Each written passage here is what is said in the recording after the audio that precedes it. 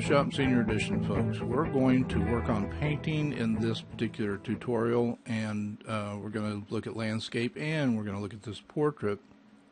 A couple of things that we need to decide when we're doing a painting of a person or a, uh, a landscape is do we want this to be an oil painting or do we want it to be a watercolor type painting? And of course, if you want to, this to be an oil painting, uh, I would suggest to you that we could darken this down even more. Uh, if we want to be an oil or a watercolor uh, artist on this particular project, then maybe we want to lighten it up a little bit more. So we can darken this down, and I'm going to just click on the, uh, go down here to the bottom of the uh, layers tablet, layers panel, and click right here on this little yin yang looking symbol and I'm going to go to uh, Hue/Saturation. And in here I'm going to cut the light way down. And I'm not worried about her. I'm trying to basically negate the background.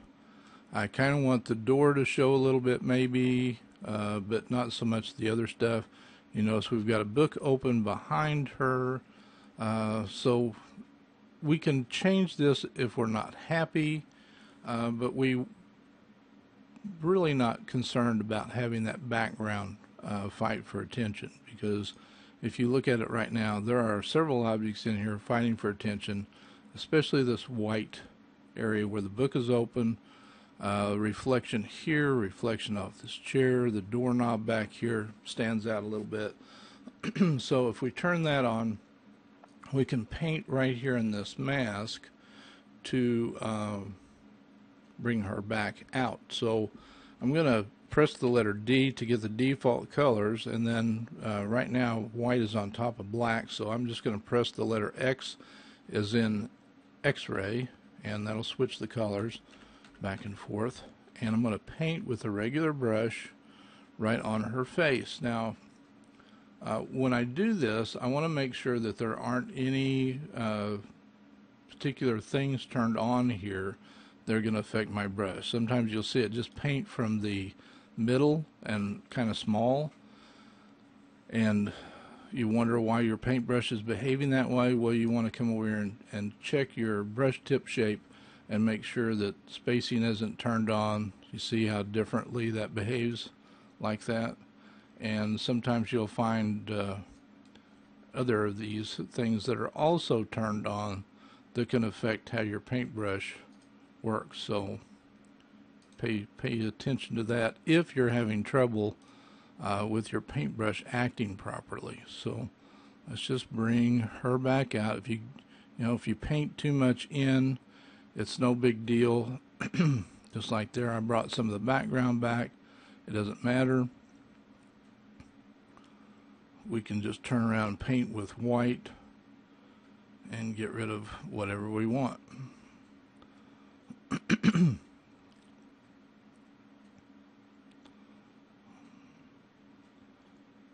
so let's make sure we got all the hair here we got more than we want. So I'm going to press X and now we're painting with white as you see here and we just go along here and you you don't want to keep painting your hair away but we certainly don't want to paint things that we don't need either. Okay, so we can go along the edge here. All right. And still some dark edges here. So Control Z, press X. We can get some of that stuff out of there. If we want to darken some of this down here, uh, that makes pretty good sense. So we can bring the layer up, make sure that we're on the mask, and and we can take the opacity down a lot and press X so we're painting with white and letting things kind of show through so I can start painting back some of this darkness because we really don't need all of that detail. We can paint some of her dress and all the background is, you know, pretty well painted so we don't have to worry about that. Now we do have to address that look because it's still going to be distracting. We can paint that hand a little bit more, which is just painting with that right there. Uh, I wouldn't advise going very far with that. I'm going to press X and bring that back a little bit. it doesn't need to be as light as this that's getting all of the light in the image, but it shouldn't be gray either. So uh, we've got that adjusted in pretty good shape. We could bring this door back more, but it depends on where our crop's going to be. Uh, we don't need all of this information in the image because if you look right now, she is going all the way from this corner all the way like that. So we really should consider turning this in, you know, from a more of a horizontal image into a vertical portrait. So uh, let's look at a crop. Let's get click on the crop tool or press the letter C. And if we make this a, roughly a 16 by 20, you don't need to make the resolution 300 right now for painting purposes. We can change that if we want to print this. So we click and we drag this where we're comfortable. Ideally, uh, I would want to get her eyes maybe into the third and maybe have that door open a little bit. But then I'm cutting her hair off on the other side. So I'm going to kind of balance that out to where I've got her hair in both sides and just double click. And I'm going to do a control zero so the whole image shows. And I think we've got a, you know, pretty good looking image here. We got rid of the white book. Uh, we've got a little reflection showing down here at the bottom. Got a little bit right here. So I'm going to click on the new layer icon real quick so we can just make a new layer up there. I'm going to put it underneath where we already did the shadowing. And I'm going to paint with a regular paintbrush with the black. And I need it to be low, the opacity low, small brush, and just kind of paint on that until it disappears.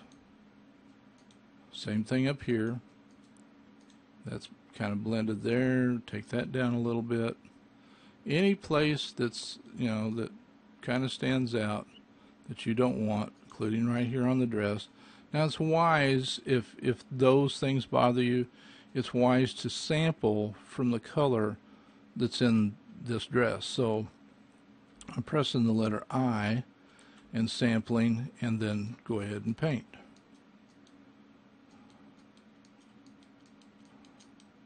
And we've subdued that quite a lot. It's, I don't think it's a problem anymore. So I think our, our image is in pretty good shape. We have, uh, if we click back on the crop tool, we've got a 16 by 20 at 72. If we wanted to print this, we would simply go to image and go to image size and we could say we want to print this as a 16 by 20.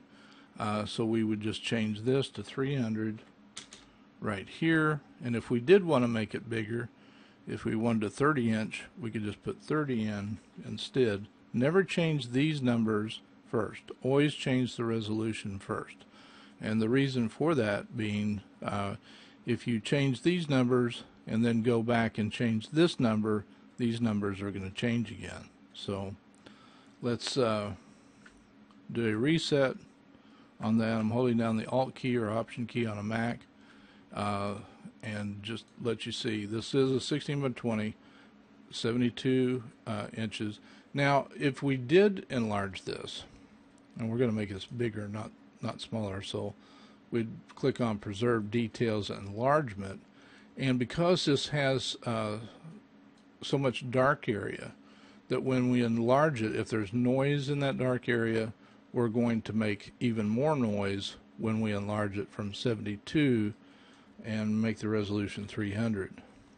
So if you click OK, as it manufactures these pixels, you want to look around in the dark areas and see if there's, you know, if it's really pixelated. It's more for a photograph than anything because when we paint it, it's not going to be problematic. All right, so let's go back, um, go to the history, get rid of this. Don't need the paths there. We need the history there. Let's go put history in here instead. And let's uh, let's just go forward with the painting. So click on the move tool and and we don't want to crop this. We've already cropped it. So control zero to make it bigger. Uh, all right, now it's brush time. Uh, we need to uh, consider uh, our brushes. so right over here at the regular brush, if you hold that down, the bottom brush is the mixer brush tool. That's what we use to paint with. So we click on it and you can see over here in this preview, this is the way the brush looks right now. Yours may not. Uh, I've used this brush several times, so yours may be, uh, your bristles may be more thick like this. Uh, you know, it may have a look more like this. I don't know. But anyhow, we want to uh, use this particular brush and because we want to see the texture of this brush in this image. Now, when we use the brushes, we, it's still very important that we have uh, layers which in we can work. So what we're going to do right now, I've got the back pretty dark. Let's let's double click this and let's bring that up maybe just a little bitty bit.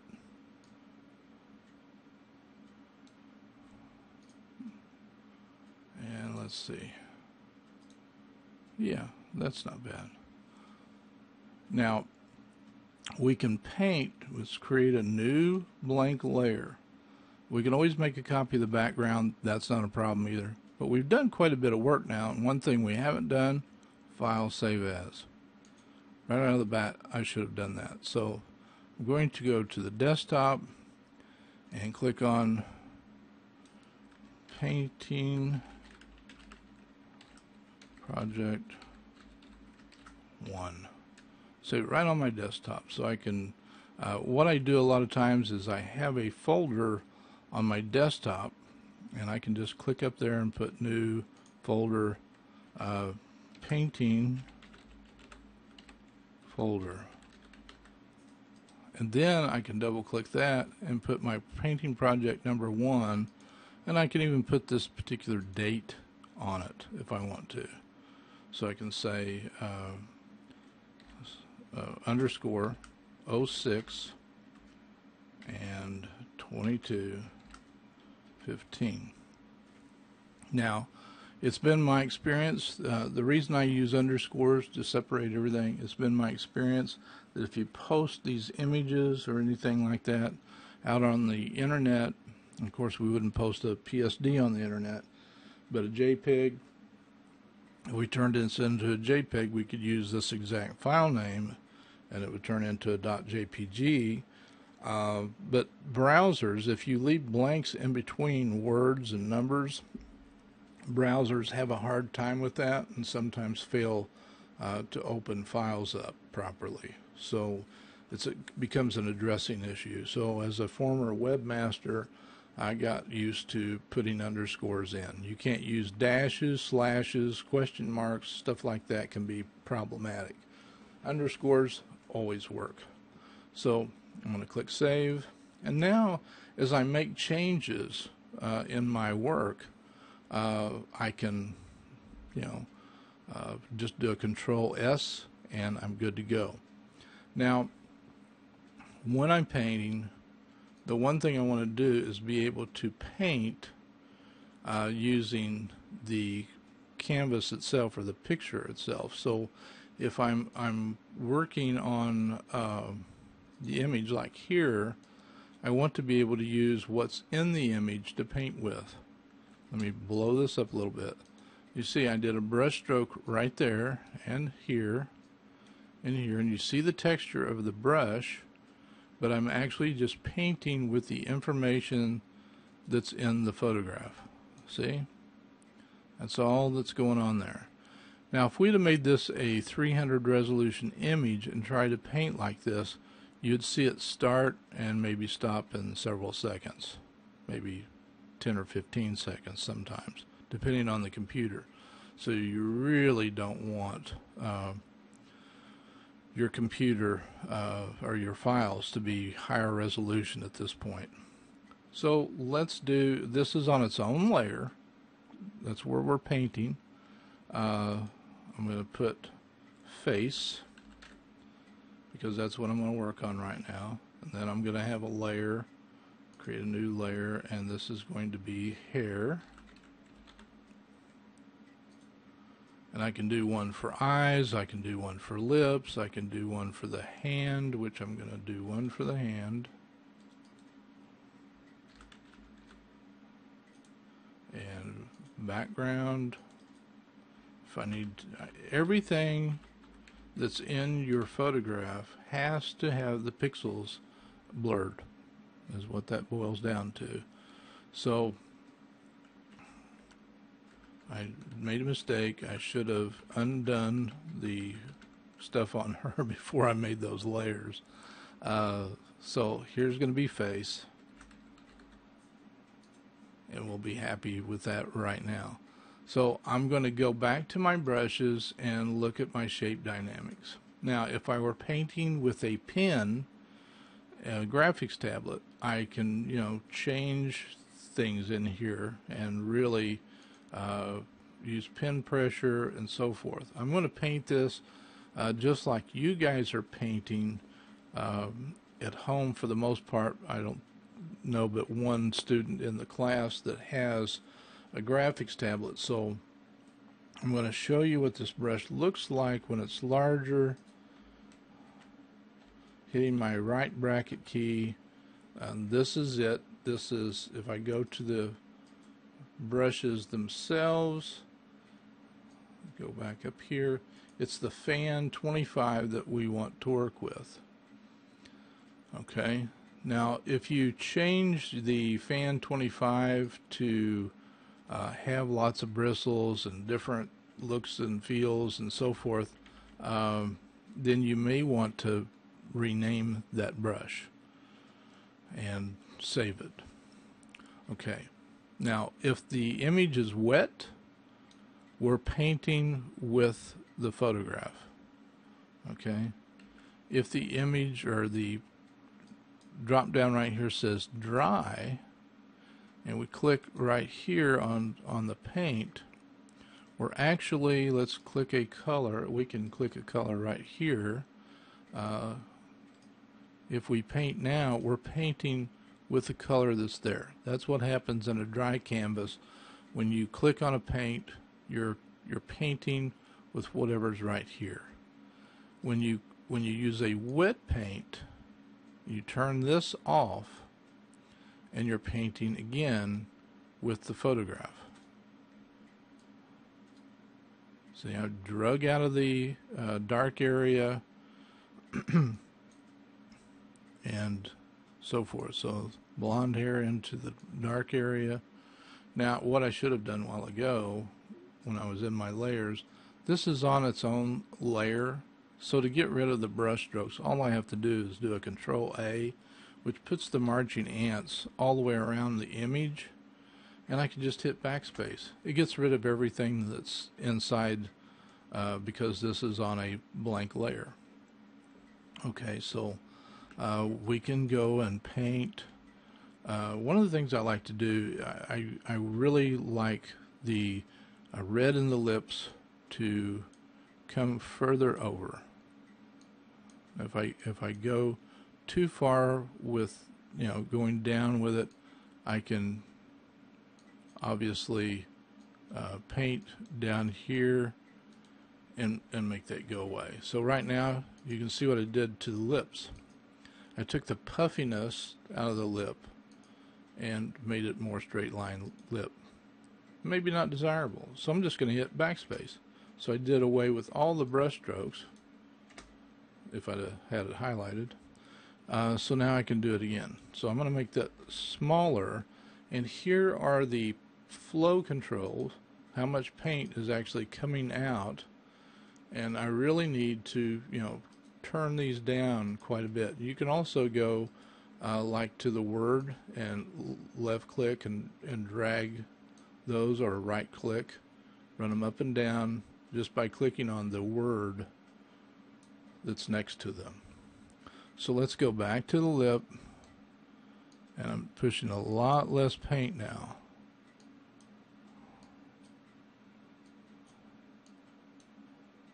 Now it kept the puffiness in her lip. If I really want to work on the lips, I need to enlarge it. And I'm going to bring some of that color down a little bit more. I'm actually going to build the puffiness on her lip.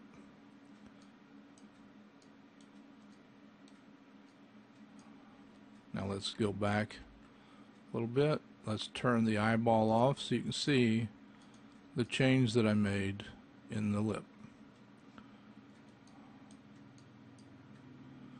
Now let's uh, go ahead with more of the face. So I right clicked to make the brush bigger and I have to simplify the entire image is basically what it boils down to. Every pixel in a photograph must be smeared, must be moved around. If it's not, it's going to look funny. You have to uh, move those pixels around until, until they softly, nicely blur together and don't have that pixelized look to them anymore. They don't have that photographic look anymore either. Now you see the brush stroke that's that's going on right there. So if you if you draw a uh, a longer line, sometimes you get those strokes. I'm going to kind of hide that up there a little bit. Move some of that shadow back up. See what we can do here. We can bring some of that paint down, move some of it up, move it back and forth. Alright, so if we turn that off and on, you can see how much has already been manipulated. I'm going to move this down, holding down the space bar, make this brush a little bit bigger, now, the, the, one of the big advantages to using a graphics tablet is that you can control how hard you're pressing when you paint, which you know will determine how much of this paint actually gets moved. It's really important that you paint everybody's, not just this beautiful female, but every face should be painted with the natural contours of the face, or you're going to flatten that person's face right out. I would show you some examples of that, but I don't want to embarrass uh, anybody on the internet.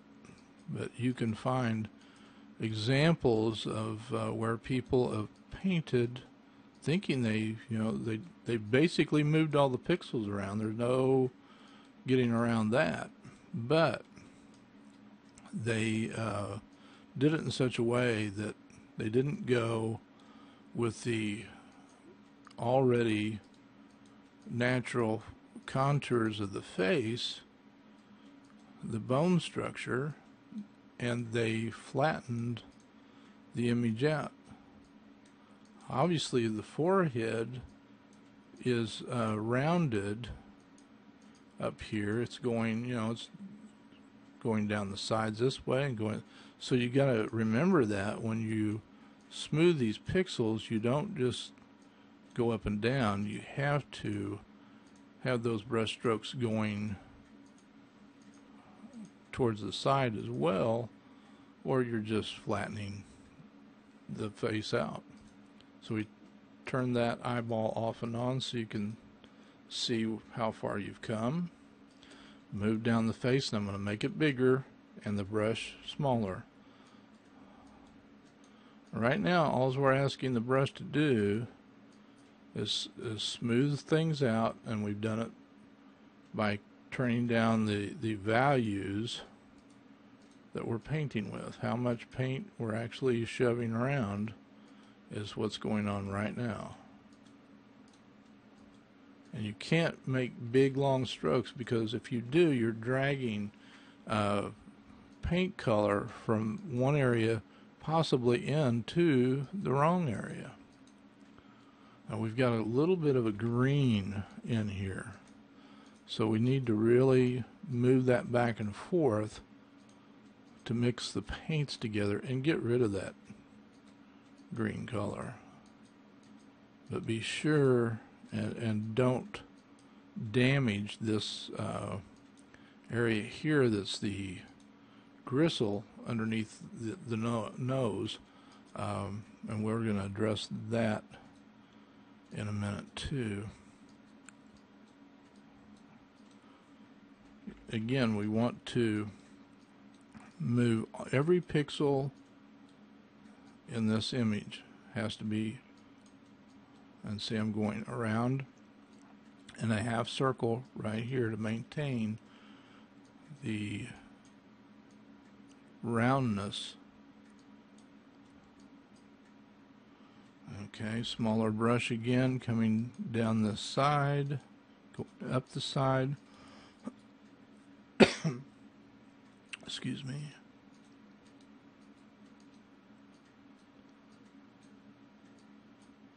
Doesn't hurt to have those little brush strokes come in there, so don't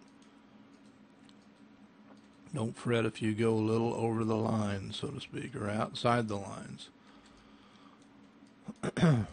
like I did right in through here. Control Z works the same as in our photographs. So now we're going to drag this eyebrow down, smooth it out. You can see the texture that's in there when you blow it up.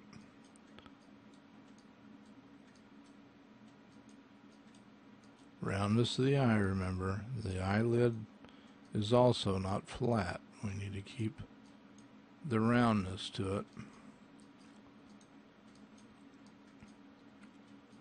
I know there are folks wondering, you know, where's the automatic painting feature in Photoshop? Well, there are some paint programs that have auto paint. And when you get done, it looks like it auto painted. If you want to have a real neat looking portrait, something that really is painted, and that's what we're doing. We're digitally painting this image, then you have to work. It's not just one of those uh, little easy fire and forget type things. Uh, sometimes I will um, just run the brush back and forth like that, which will also smooth pixels. You don't always have to paint in just a regular stroke.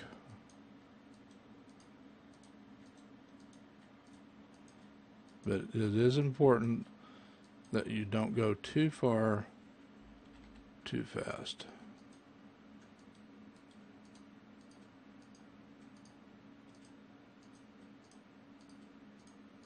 All right, I'm going to zoom out and turn the eyeball off and on.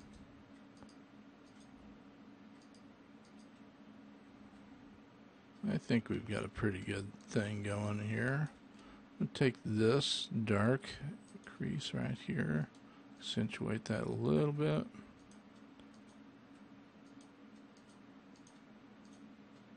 And then maybe with the big brush, paint it back out just a little bit more. There we go. And blend that in more.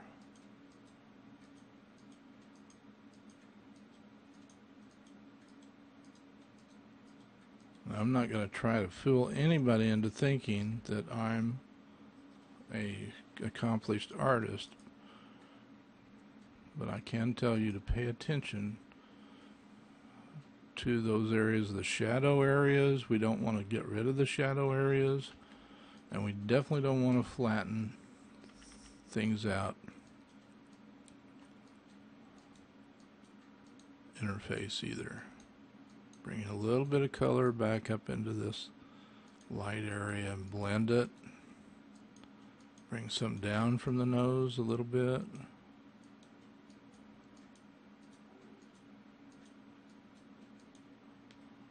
Turn that off and on so you can see what we did.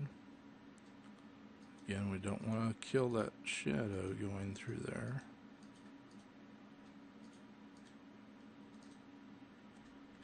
And let's zoom out a little bit. And we could probably uh, soften these lines up a little bit up in here. Like I say, you can see those lines uh, from the brush when we blow it up like that. You can really start to see that. We're going to dampen that down a little bit. And I'm, I'm kind of going hard and heavy due to time. You see the difference that we we made just doing that.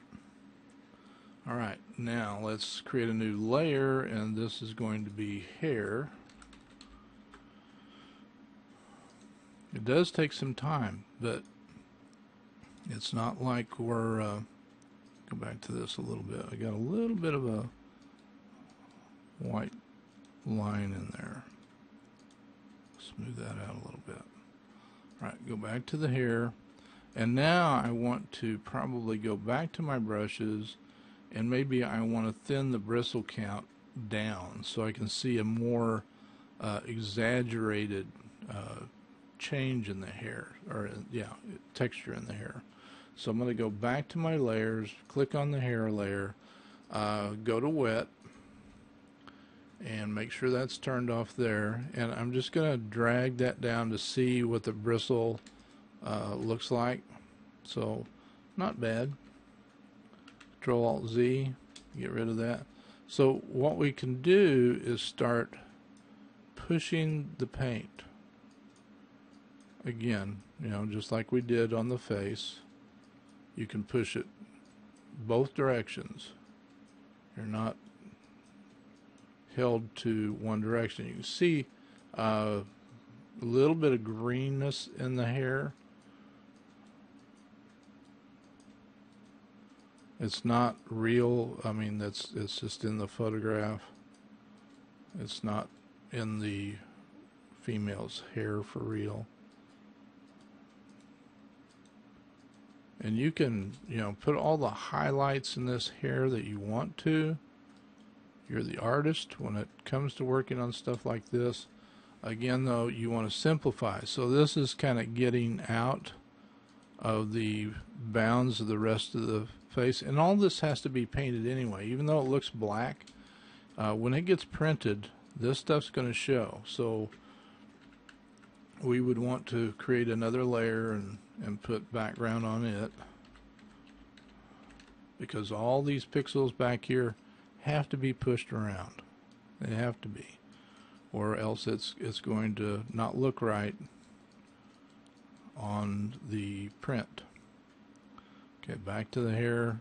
And this is kind of, you know, between two uh, layers. You know, we got uh, part of the background's coming in here, and part of the hair is coming in there also. But that's, you know, that's okay. Remember, all of the hair has to have has to be brushed. Has to be the pixels have to be moved. Guarantee you, if they're not, your your image is going to look odd because you're going to actually see pixels. Uh, you're going to see uh, too much detail in some things. So I'm going back and forth, kind of mixing those pixels together. Going with the, the flow of the hair. And this is something that's obviously a lot easier to do uh, if you've got a graphics tablet. I keep hitting on that, but nonetheless, it's true. So I'm going to drag some back and forth through here.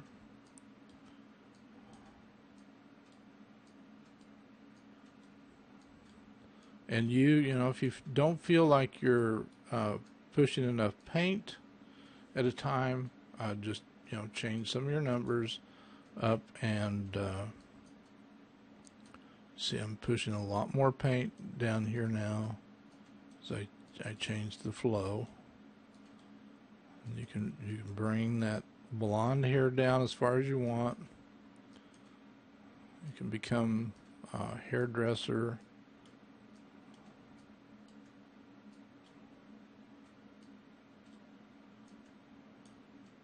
If you think the uh, bristles are too uh, fine, obviously, just click back on the brushes and you can coarse them up. You can stiffen them a little bit. You can thicken the amount of paint that is moved. See how, how much more that changed because of that. Really moving a lot. So I'm going to undo that and get that stiffness back off of there and the thickness way down there again. Whoop. Again, it's it's you got to try to uh, stay with the flow of the hair. You can keep painting over it. It's it's not like okay, I I went the wrong direction, and now I'm stuck with the way that went. And I'm moving a lot of hair now at the same time. So I'm going to cut back the flow. So you can you can put uh, darker areas in. You can put more highlights in. Um, if she had gray hair, we could certainly uh, work on that if we wanted to. And here we probably ought to push some of that lighter hair up through there some you know. Pushing a lot of pixels over here pretty quickly for expediency's sake. And I, I need to spend some time building this up in here too but I'm not going to do too much with it just show you that real quickly what I would do. So it's important if you know if you grab paint from the wrong place and try to smear it, uh, you can really have some strange effects. So I'm simplifying this down here because we don't need a bunch of fuzzy uh, hair sticking off into the image. So I'm going to make this lighter right down here. Now the cool thing is, if, if I'm still not satisfied with the amount of lightness that I put in it, I sample the, the hair color that I like that's light and I paint it in. and obviously I'm painting again with too large a brush at, at, you know for what I'm trying to do right here. But get the idea.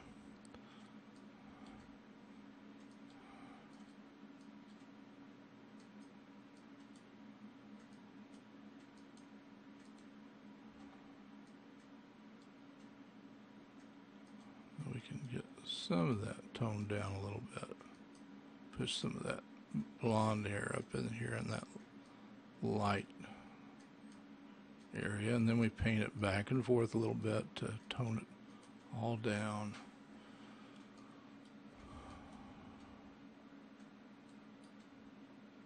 There's a little bit in here that can be stroked obviously still yet a little bit. And then we move out, turn that off. Got to get back to the, this is the hair. So look at the difference that, that we've made in the hair. Then we get over here to where the curl is. And we try to, I'm going to try to stay with the highlights. I'm going to do a couple of control Z's here. I'm going to keep this lighter area. I'm just going to work on it for a few seconds to paint it. Oop.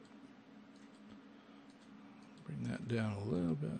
So it created a few extra highlights by doing that. And now we can blend some of this other back. Got some hair. We need to bring some hair down into this area. And then we're going to paint this over a little bit.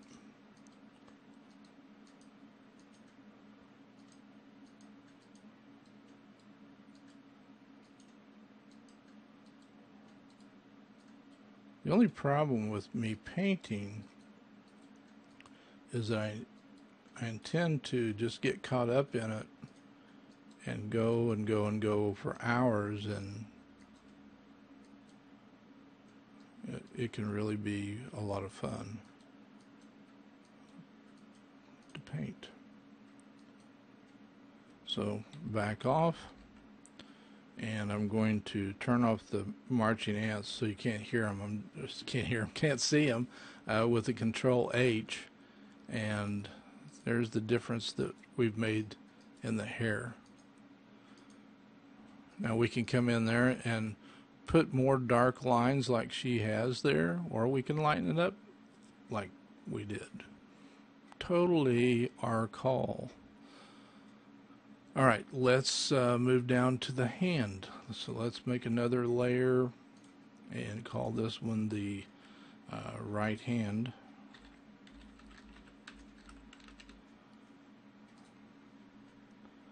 And let's go in here. Going to cut that flow down more. Everything down a little bit more. We can use a bigger brush. It's okay if we see the uh, texture of the bristles in the brush. I'm going to try to diminish the blood vessels uh, that I'm seeing a little bit of and the tendons. It's okay to see a little bit of that, but think it looks more feminine if it's minimized. I'm going to get trouble with some folks, I guess, that don't want her to be more feminine. I don't know. So we blow it up a little bit more so we can smooth our details and then we you know we can paint those knuckles a little bit smooth them. All of this stuff again we need the highlights still there. Don't don't blend the highlights back out. But we need to move all the pixels around.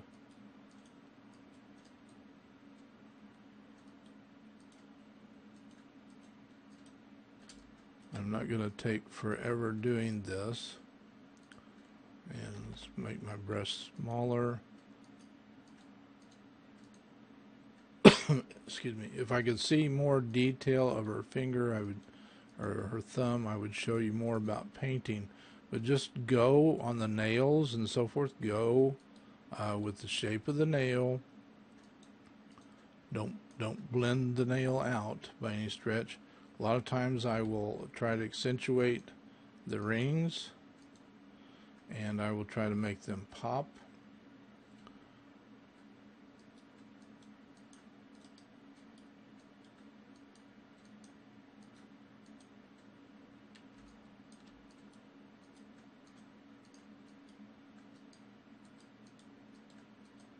blur that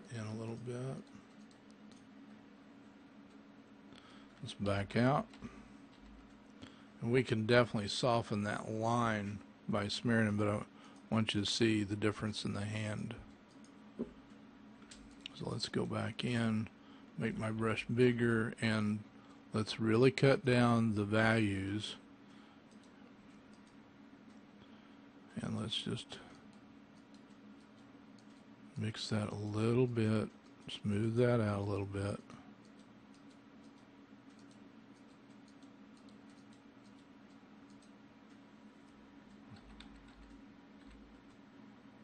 Okay. And we could, you know, do the other hand and, and all that stuff too. Now, on the uh, dress itself, create another layer. And I just, I try to go along these edges that are dark and accentuate those. And then paint you know, slipping and smearing uh, is one of those things. We got to simplify everything in here. Again, you see my my brush is doing a little uh, just smearing rather than painting strokes because I, I see some of that green in there and trying to just blend it. See my clock comes on and turns because it's running the brush.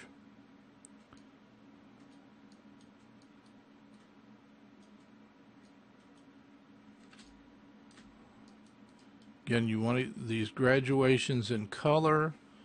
Uh, you want to keep those because they're shadow areas and so forth. You just have to make sure you do move all those pixels because otherwise it's going to show.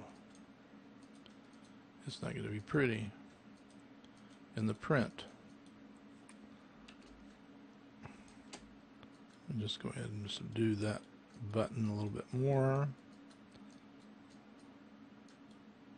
Again, if you're if you're not moving as much paint as you want, just go back up and turn the flow.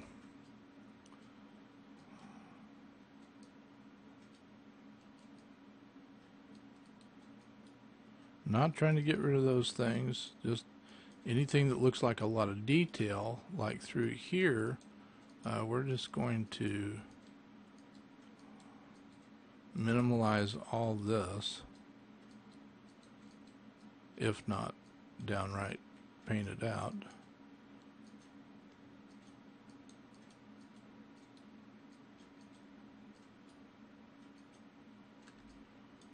and we need to you know let those colors that are there let them in the button just pretty much give it a smear is what I'm going to do paint it back into shape there uh, don't want that to be intact so just you know again it's it's a lot of moving the pixels around. If uh, we have a light area like in here, we need to accentuate that. The dark areas, as you see, I accentuate those. I haven't uh, addressed all of the dress by any stretch of the imagination. This would probably going to need to pick up the amount of paint moved right in there.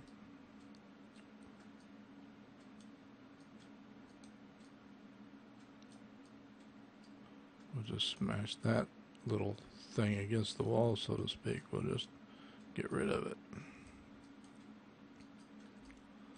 Uh, right here, I'd put some light, so I'm going to create another layer. And I'm going to call this new paint. Because if I add paint to the image, I want to know where it is. And I'm going to add some paint along this collar. I'm going to use the same brush and I'm going to go up here and I'm going to click and get some white. And I want this to be dry. And I'm just going to paint right down there. Now you see that is really heavy. So I'm going to Control Z that. Take this load way down. That's a lot less. And then all you got to do is, is and you don't have to do a lot of white. I'm not trying to paint the whole thing white. What I need to do is just dra drop a dab here, a dab here and here, and then I'm going to blend that. So I'm going to switch to a wet brush.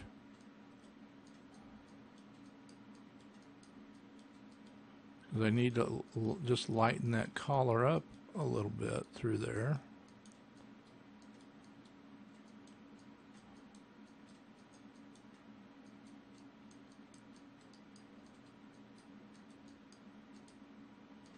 already have, you know, some dark going on there, and then now I've added some of that white. Make my brush a little bit bigger. And I probably could, you know, move more of that paint now. It's kind of heavy. And I'm, I'm painting back too much white into it. I'll turn that off.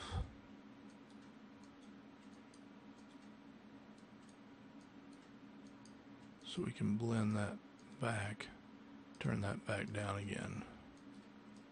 You got to watch and make sure that you're not still painting with the dry brush.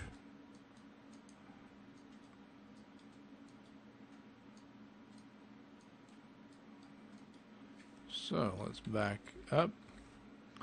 And you see we've highlighted, we've actually built that up by using light and dark any place else that you see that, you're certainly uh, more than welcome to do that. And you might want to bring some fine here into some of the areas.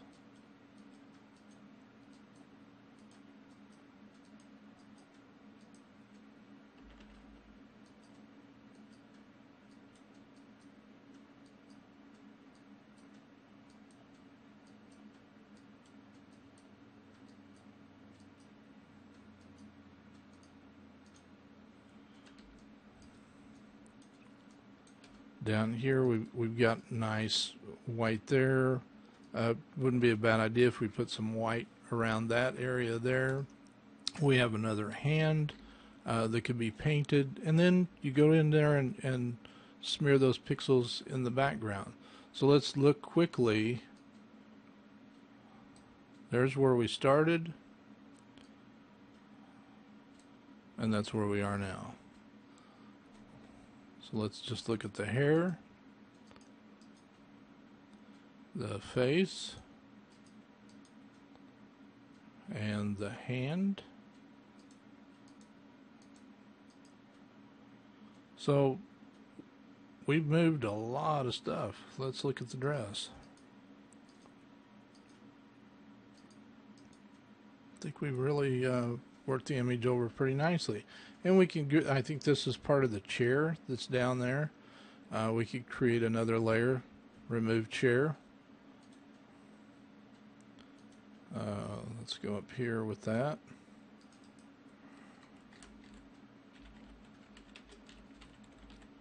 And, and wow.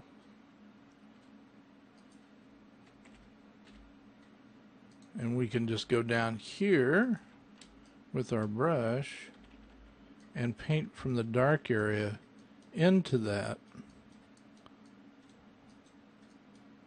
and remove it. Because we're smearing all those pixels anyway. Uh, we can remove if we want. And then we could you know it might be a good time if if we needed to go ahead and work on the hand while we were down here. So we've got a little more canvas here, it looks like, then we've got hand. So we, we'll just paint some more hand in, which doesn't hurt a thing either. We can bring the dress on down, and if we turn the flow up, we can certainly move that in a lot quicker. Yeah, we did the same thing down in here.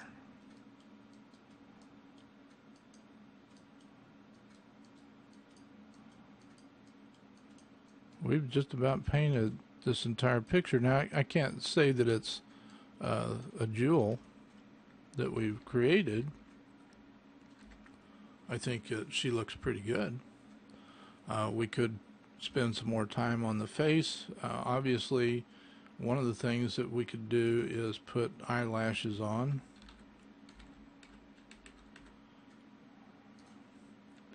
And I, th I think it really makes an image uh, very, very neat. Um, if you make your brush small, this isn't the ideal brush for eyelashes, but you can see that you can bring um, eyelashes out.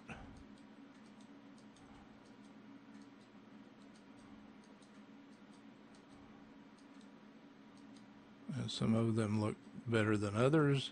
And this is uh, all about time right now, so. And over here, maybe just a few because that other eye is not going to show so much.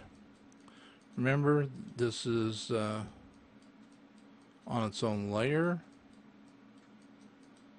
So if we need to tidy that up, we can turn the eraser on and get us a nice um, eraser brush here. And let's just change this to around 40%.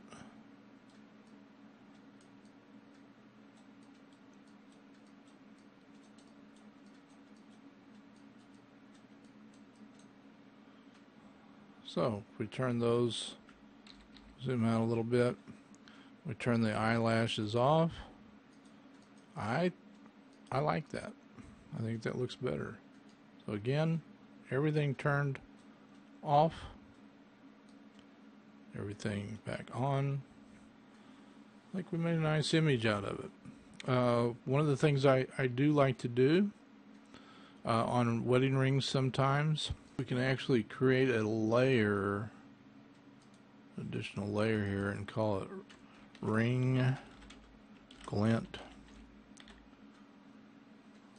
And we can go to our shapes tool over here, custom shape, and go up to where the shape actually is. And we got lots and lots of different shapes.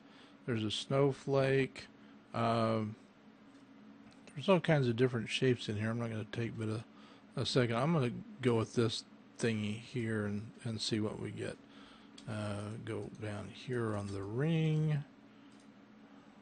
and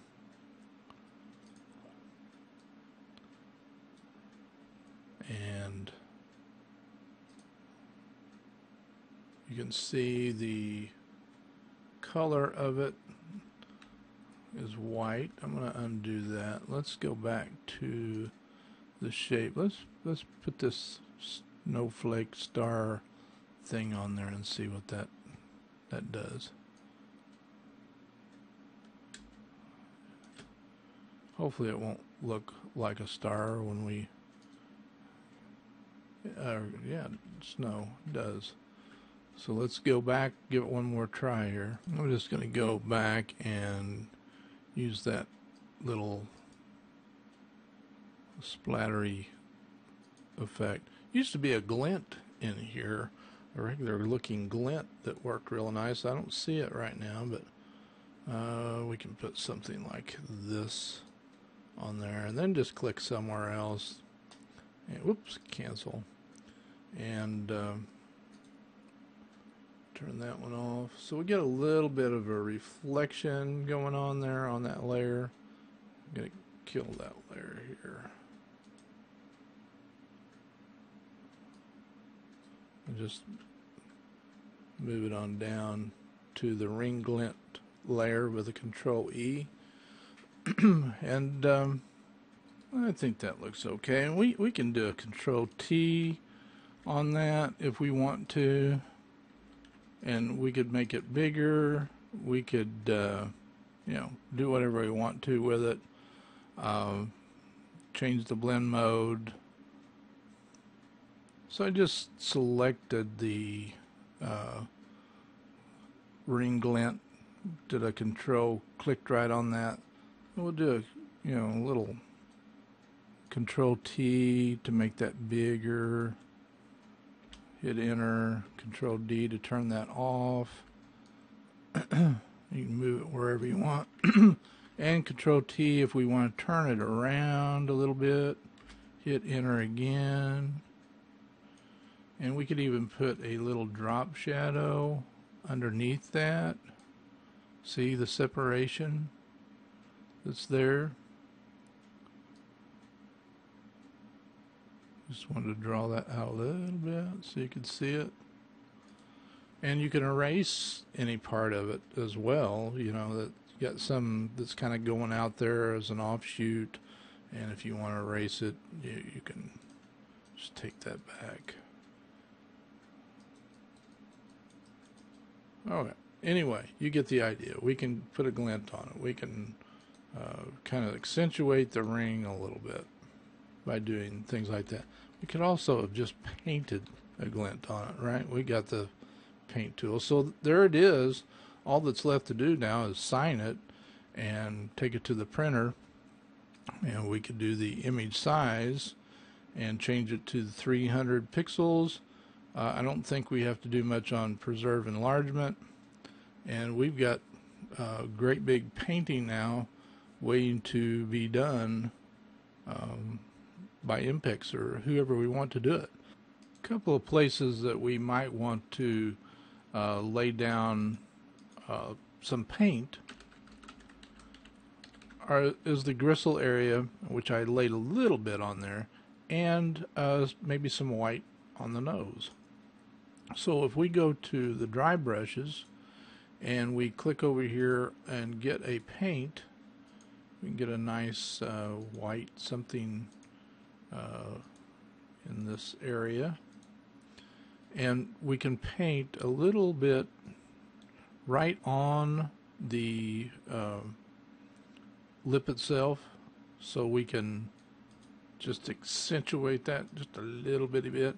So let's go with the dry brush and let's just put down a little white paint. And that's kind of scattered nicely, actually, like that. That there, I don't really have a problem with that, uh, but we'll we'll smooth it out anyway. And I just dropped a little bit down in here too uh, to accentuate this area a little bit. And then we can turn on a nice uh, fan brush. And let's make sure that uh, yeah got plenty of bristles. Whoops got to switch over to turn that off dry, uh, clean the brush go to wet and let's just smooth that in a bit don't want to draw the dark areas in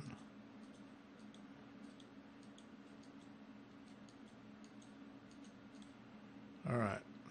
You know, same on the, the gristle area. And some people will darken that little valley in between on that gristle area. Let's just bring that down the nose a little bit. Zoom back out. And let's look at that layer real quick. So we took a little roundness off the nose, We accentuated the lips with a little light, and we put a little light in that gristle that's just above the lips. Anywhere that you see uh, some light, like over here on the jaw, you can add, you can go in and turn on the dark dry brush again and add a little bit of uh, white area in there. And uh, maybe some up in here a little bit. And then work that in. You know it's only on this layer anyway. So if you don't like it uh, you, all you got to do is turn that layer off or throw that layer away so let's turn on our, our uh, wet brushes again. Clean the brush, turn that off because we don't we don't want that uh, paint.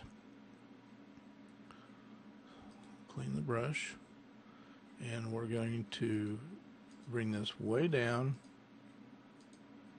Could have gone over and, and loaded up Steve's brush, couldn't I? Wherever it may be now that I've reset everything.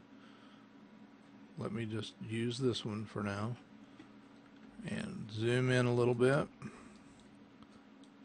and we'll just work the color in you see it's a little bit gray a little bit white we push some of the color that exists in there along with the color that's there pulling it out. Probably a regular white instead of getting that grayishness in there would have been uh, better. Now let's zoom back out, control minus, and let's just see the difference that that made. Kind of neat, isn't it? That it'll do that. Let's go up there at the forehead. You start pushing it around.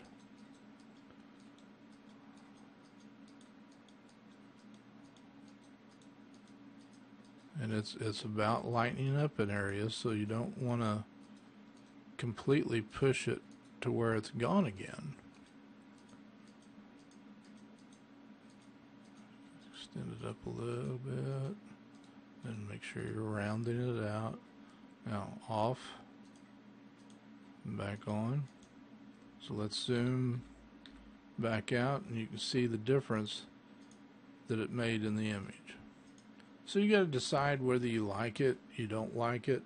Uh, I don't know that I like that much up in this area.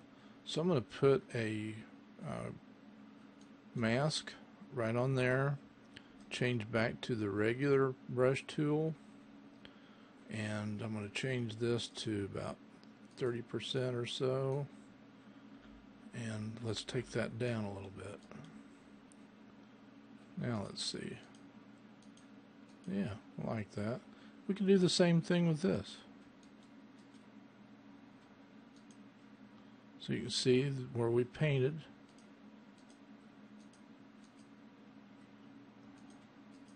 Subdued that pretty much completely, so I'll print with, or change that with pressing the letter X to switch back to white. Now you can see the white come back in again. So you have total control over these colors and, and what you change and do to it. I uh, hope this part was very helpful. Let's go on to the landscape uh, part of this. One last look before we go, I wanted to show you that I did go through the hair and finish painting so there weren't, wasn't the uh, glommed up areas in there that the pixels hadn't been moved in. So I wanted you to see that real quick. That's all. Okay, let me show you what I've done so far. If I turn uh, the eyeballs off, you'll see uh, this is the regular image uh, that I was working on. Here is some of the sky and clouds painted and the reflections down below. And here are some of the trees painted. Also had a tree, I guess just one tree painting over here. as well. Now let me show you um, the, the, some of the work that I've been doing. Obviously, every pixel has to be moved in here as well. And you see where I left off. Um, so we create a tree image or a tree layer. I'm going to click on the new icon, new uh, layer icon. and obviously that's a huge brush. What you want to do is uh, click and you drag these things in the direction that they're already going. Of course our flow is way down. These things would need to be moved up quite a bit. So you, you start dragging all of these things in the direction that they're already heading. Now when you get into areas like this, well, let's find a, a, place here real quick. Uh, down in here, it's a lot more difficult to find the direction that things are going. Here, it's it's more obvious, but remember, all of this stuff has to be uh, smeared. Everything has to be simplified. You cannot uh, have this look like a painting unless all of this stuff, and you might even want to run uh, this stuff, the numbers to the limit. Obviously my brush is kind of big for some of this. Now, obviously, uh, you're not keeping the look of the fir intact or whatever the trees are. And you don't want to do that anyway. You're working on uh, making a painting, not, you see I was painting with uh, some color in there instead of blurring the pixels. They should be able to blur whatever color there is. Oops, Control Z that. Um, so a landscape obviously is a lot more challenging, especially when it has uh, things going in all different directions. The, the key is you have to take your time. Uh, just like in the portrait, it all has to be, like I said, it all has to be smeared around. Every pixel has to be manipulated or else it looks really, really strange. And here, you're dealing with so many directions, with so many things like this. If, if you just take this and drag it up, you just turn that whole thing into yellow. So you can't just drag the whole thing. You've got to, here's this color is right here is that color. Right here it's this color. Down here it's green. Alright, so green, yellows, whites and browns. So that's that's the way these things have to be painted too. You could go through here and just paint the browns. All the browns need to be uh, simplified. The greens all need to be simplified.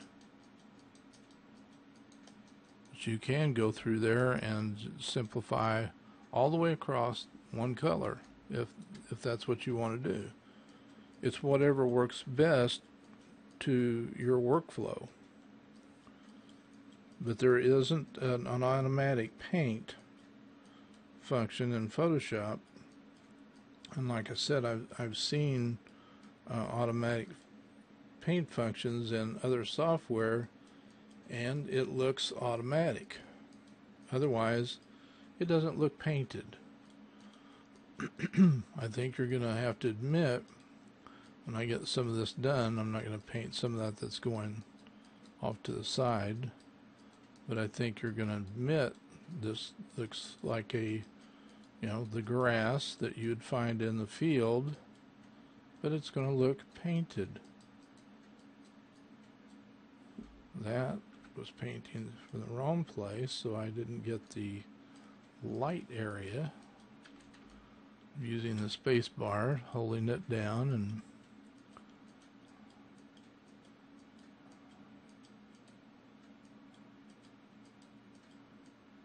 So I can, I really, you know, start doing this and I'm just in another world. I just really enjoy it, get lost in it. It's fun for me. It isn't for everybody. If it were, I guess nobody would ever ask me to do a painting. They would do the paintings themselves. Although I don't work for fees anymore, so I rarely ever take on a, a painting job anymore.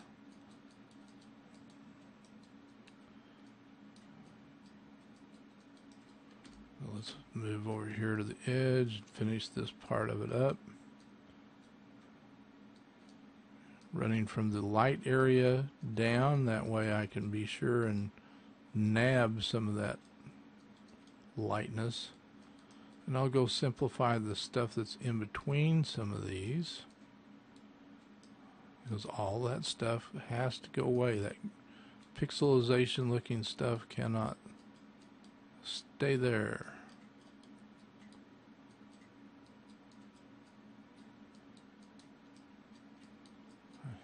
Just paint on across over here a little bit. Anywhere where you see those little squares, that's a problem when it gets printed. And that's what you got to be on the lookout for. It has to go away. I'll hit my space bar, move it over. Come up and grab some of this stuff up here at the top. Simplify it. Get rid of background stuff when I can back in here.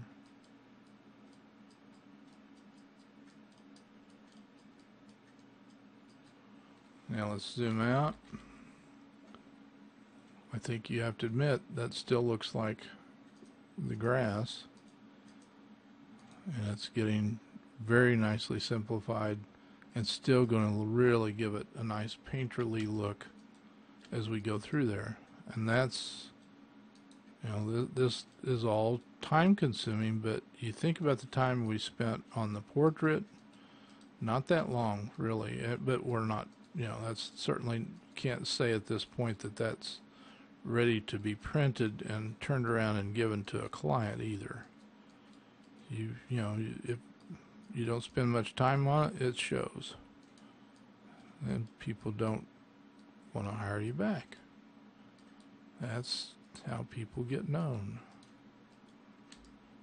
We keep on going through here.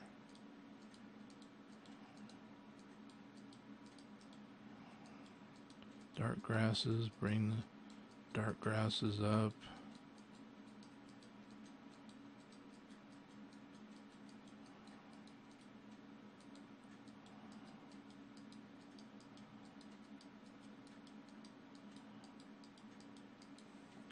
And again, we got to get the stuff that's behind them simplified.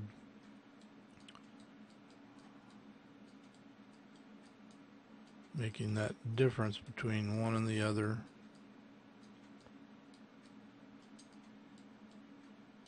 Oops, Control Z that. Didn't mean to cut and run sideways. So I think you get the idea on that part. Uh, hopefully you're getting the idea. See, there, a lot of this is just strictly dragging those pixels. You can see the jagged edges of the pixels. That can't be there when it's printed. Just cannot have those little squares and stuff. So you're you're painting a lot of details even though you're simplifying. That's that's crazy thing. And if it's out of balance, you got to paint some more in make the happy trees, so forth. Find that happy balance. I can't remember all the happy stuff when painting trees, but anyway, I think you get the idea. Gotta, you know, some of that can just be turned to blurred colors. It's okay. Can't throw it all away, or then it just flat tree. So you start finding the, the blacks, and you find the lighter areas, simplify those.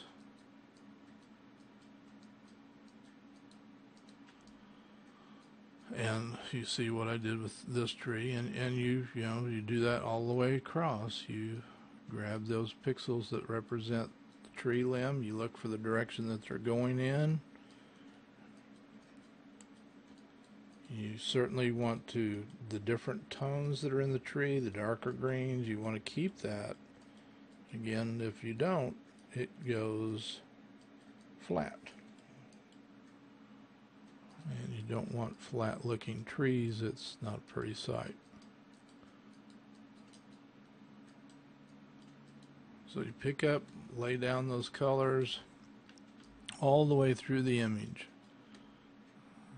This one's starting to look a lot better over here. Unfortunately, you can't um, paint pictures in segments. You got this segment looking pretty good. Let's print it. Doesn't work.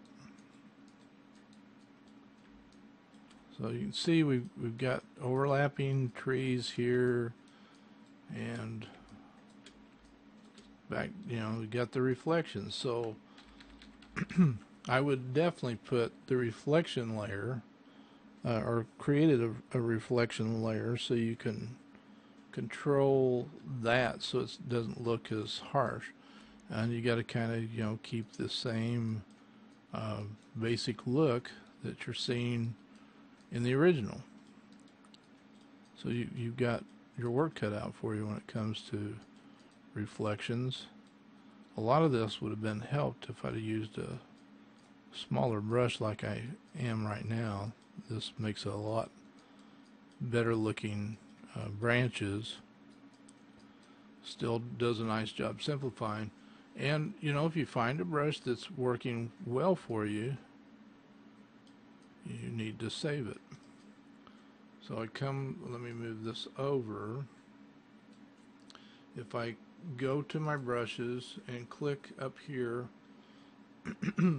I can do a new brush preset. You can't see that because it's going off the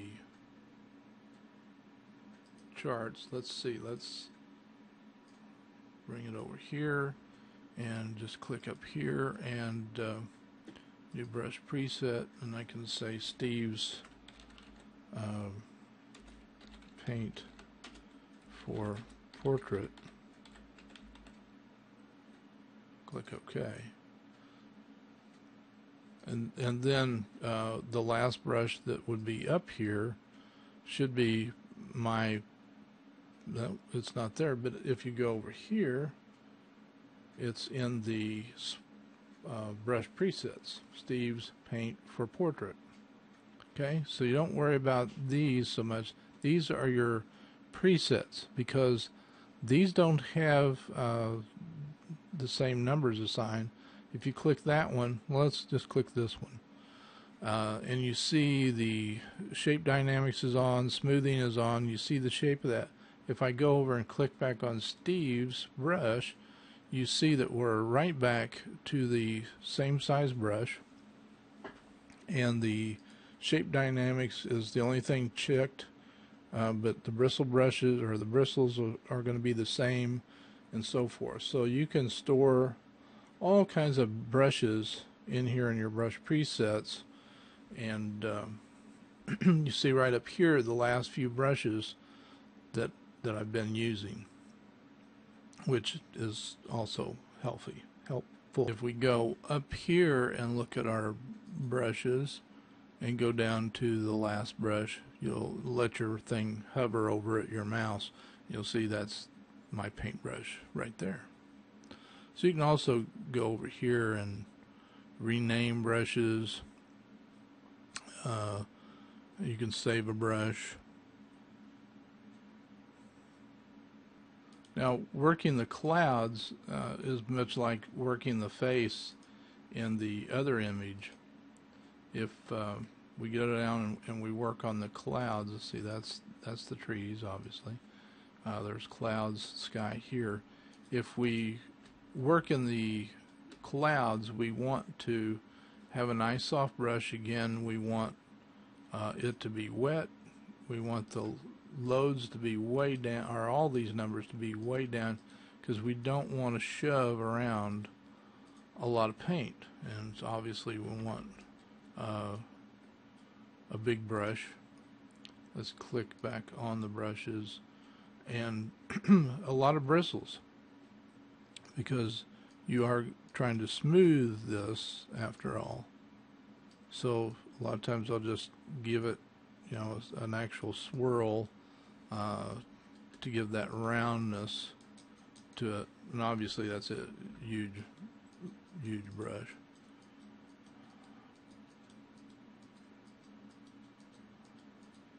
And, and clouds uh, are unique, but you've got to keep an eye on these clouds and make sure that you have things in common uh, or it doesn't look like a reflection. I've gone too far on a bunch of mine as you can see there. I've I've painted and painted and painted whereas that doesn't look anything like this now.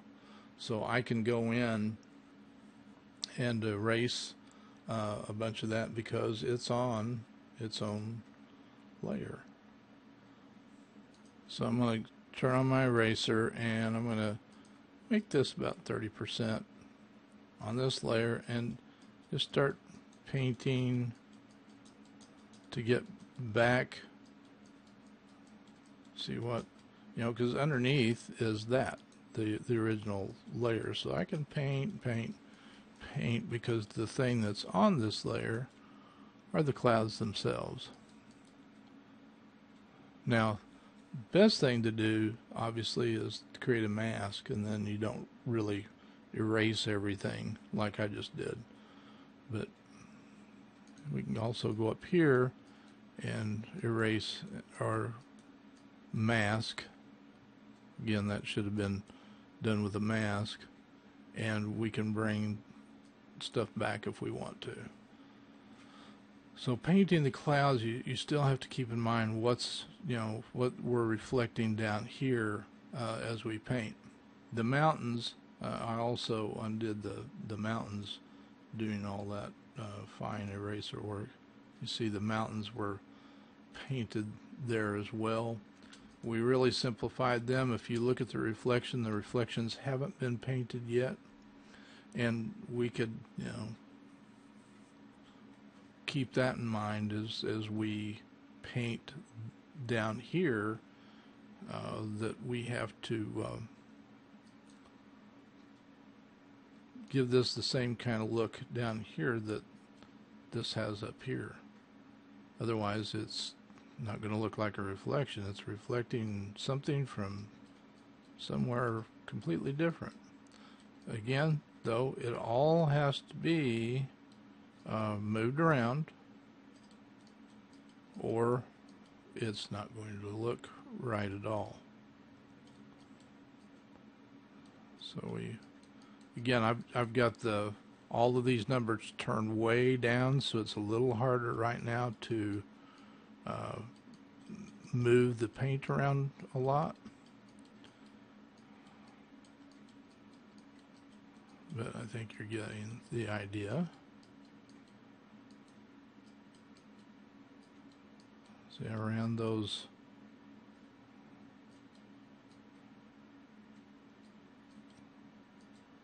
So you're seeing some of the reflection of that.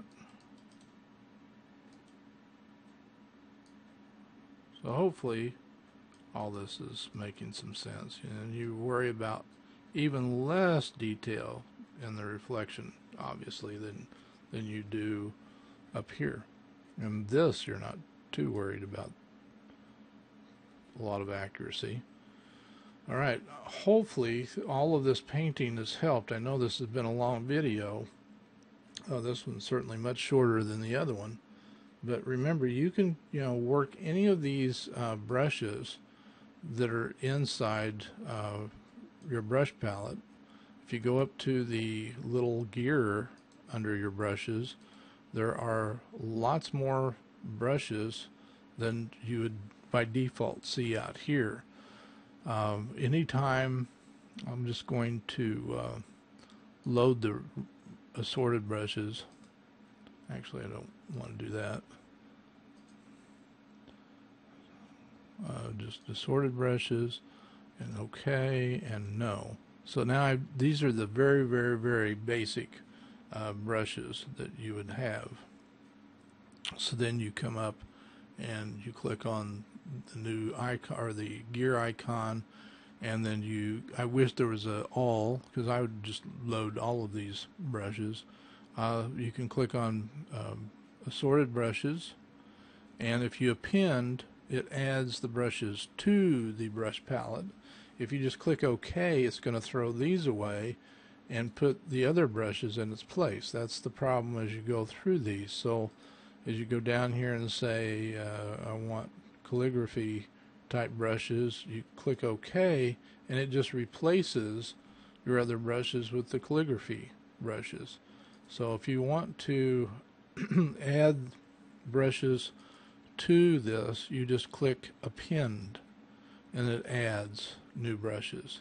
So we go on down through there, um, basic brushes append, and then we'll make this a bit bigger, and click on the gear again and we can say uh, let's go down to natural brushes append and you see that there's some chalk brushes. Now what are called the erodible brushes because they wear as they uh, as you use them.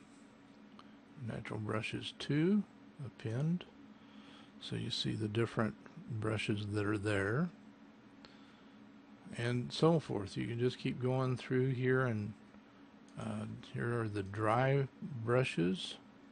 See there's a fan brush here.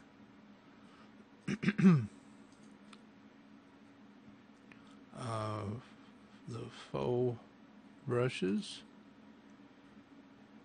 And I'm not going to keep you on here watching this, but anyway, that's how you how you load all the different brushes up, and then you start editing the different brushes uh, over in the, you know, turn this on and uh, go through your ship uh, tip shapes and change your bristle bristles bristles. And I'm going to make this brush a bit bigger. And you see how this particular brush is set up and you know you can change the number of bristles and how it will interact. So all of these brushes that come in Photoshop will definitely behave differently and a lot of them will have their own presets already. So if you go down here there's lots of great presets. If you don't have the presets open you can go in here brushes load the brushes up where you can see it and the presets and you'll see uh, lots of great brushes that are already included by the good folks at Photoshop. And up here now is that flat brush. So, uh, so have some fun with with painting. Uh, get experimental. Find the stuff that you gravitate to uh, to paint on and just work on that stuff until you get comfortable with it and then move on to something else keep experimenting keep playing keep uh, adding to your uh, toolbox of things that you can do and are accomplished at in Photoshop. I'll talk to you all later. Bye bye.